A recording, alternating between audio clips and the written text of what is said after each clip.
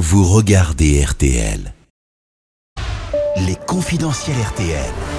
Dominique Tenza. 6h51 minutes, l'heure de vos experts sur RTL. Et tout s'accélère à l'Assemblée nationale, Dominique, en vue de la création d'un nouveau groupe parlementaire. Donc ça fait déjà quelques semaines qu'on vous en parle ici sur RTL. Oui, un huitième groupe baptisé Liberté. C'est le nom qui circule, pourrait en effet voir le jour très prochainement, alors que les députés font leur rentrée aujourd'hui à l'Assemblée après deux semaines de pause. Une quinzaine d'entre eux pourraient donc se regrouper sous cette bannière Liberté, avec des profils, disons-le, très divers. 15, c'est le nombre minimum pour former un groupe.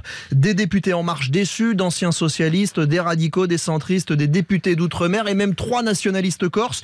On ne voit pas très bien ce que tout ce petit monde peut avoir en commun, si ce n'est l'envie d'appartenir à un groupe parlementaire. C'est un peu fourre-tout. Oui, sans doute un peu, même si les organisateurs préfèrent parler, eux, d'un groupe divers. Bah, le problème, quand vous êtes un groupe divers, c'est que c'est pas facile de s'entendre sur une ligne politique commune. Les Corses, par exemple, n'ont toujours pas pardonné au centriste Charles de Courson d'avoir fait voter la fin de l'exonération de la TVA sur le vin produit en Corse. Or, ils vont devoir s'entendre s'ils veulent faire partie du même groupe. Tout ça se discute et ça se négocie. Ça avance vite, confie l'un des députés. Tous ont profité des ponts euh, du mois de mai pour se parler au téléphone et puis ils vont se revoir. Dès ce matin à l'Assemblée, une réunion aura lieu demain, mardi, pour essayer justement de régler les derniers détails et tenter d'établir les bribes d'une charte commune. On a du mal à comprendre pourquoi autant d'empressement à, former ce groupe. Ça change quoi d'appartenir à un groupe? Ça change tout en fait. À l'Assemblée, plus de moyens, de l'argent, des locaux, des bureaux pour se réunir, la possibilité aussi d'embaucher des collaborateurs pour vous aider à éplucher les textes et puis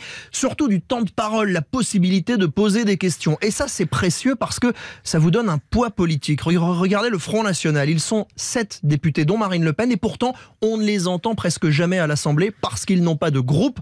Ils sont ce qu'on appelle des non-inscrits, ce qui les rend quasiment invisibles. Vos plus, tout d'abord, Emmanuel Macron qui reste à Brégançon alors qu'un attentat a lieu à Paris, eh bien les républicains s'indignent. Et ils le feront savoir tout à l'heure au cours du traditionnel point presse. Les porte-paroles insisteront sur l'image, je cite, d'un président qui poursuit son week-end à la mer plutôt que de se rendre au chevet des blessés. Et puis demain, mardi, ce seront les députés qui en remettront une couche à l'Assemblée en interpellant publiquement le Premier ministre.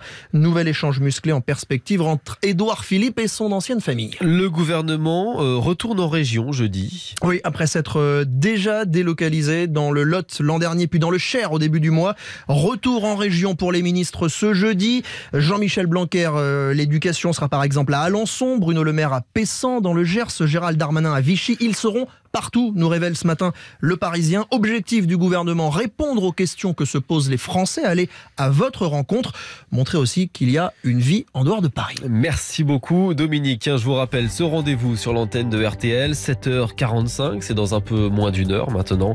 L'ex-premier ministre Jean-Pierre Raffarin, aujourd'hui président de l'ONG Leader pour la paix, sera l'invité d'Elisabeth Martichoux.